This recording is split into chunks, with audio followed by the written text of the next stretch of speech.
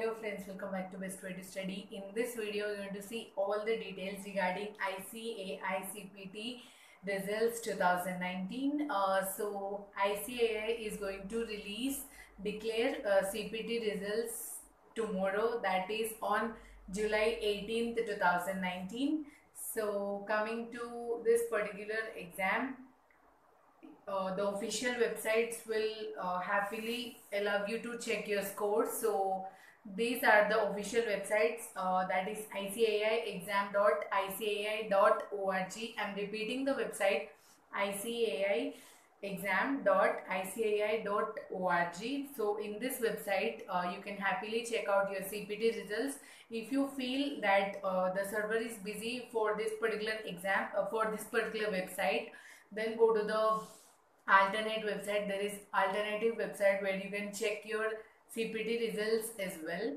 So that is car results.icai.org or icai.nic.in so out of these three websites in any of the website you can happily check your cpt scores. So now let's see a uh, few more details regarding this particular exam. This year 22,000 students have attempted this particular exam. So now let's see uh, the few simple steps where you can follow in order to check out your CPT results. Uh, so first you have to go to the official website which I've told you, the three links which I've told you uh, just before. So once you go to those websites, uh, there will be the link on the home page with the name result of the CPT that is uh, CPT result 2019. So once you click on that link, uh, they'll ask you to enter your PIN number and roll number. So after entering all the valid details, click on submit.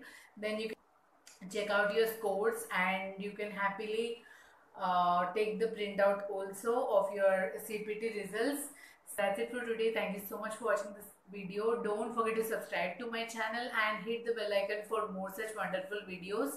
And also like and share this video. Thanks for watching. All the very best for your CPT results. Uh, thanks for watching.